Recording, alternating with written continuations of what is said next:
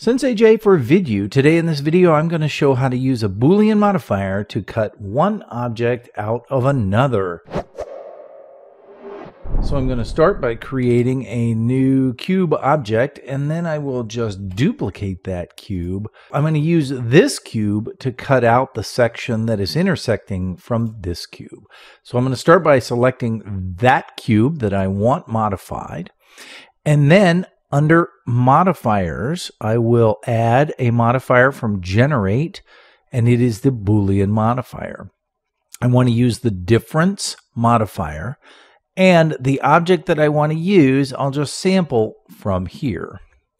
Now I can hit apply. And then if I just move this away, you can see that that has cut out that section from the other one.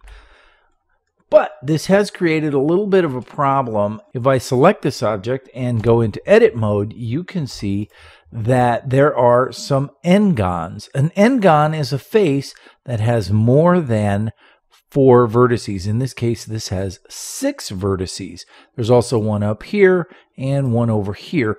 And this is not good, especially for gaming engines. So what we're going to do is we're going to solve this by using a different tool called the knife tool.